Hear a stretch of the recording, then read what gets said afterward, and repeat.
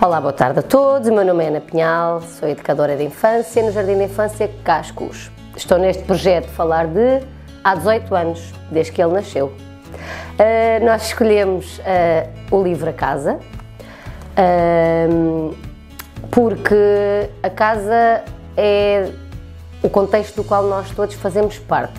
Temos a nossa casa, as crianças têm a casa delas, é família, é, é ninho, é porto de abrigo, é onde a educação começa. Uh, no âmbito do projeto também um, temos as ODS e o nosso planeta, ou seja, a casa de todos nós. Portanto, ao sabermos cuidar da nossa casa, também sabemos cuidar do nosso planeta, o planeta Terra.